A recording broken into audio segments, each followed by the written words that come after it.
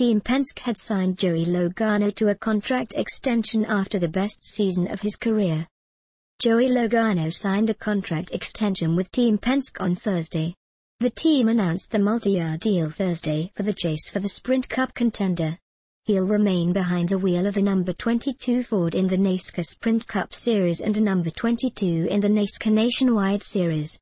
The seven-year NASCAR veteran joined Team Penske at the start of the 2013 season. He has four Sprint Cup wins this season, at Texas Motor Speedway, Richmond International Raceway, Bristol Motor Speedway and last weekend at New Hampshire Motor Speedway. Roger Penske says the 24-year-old Logano has been everything we hoped he would be, both as a driver and as a representative of our organization.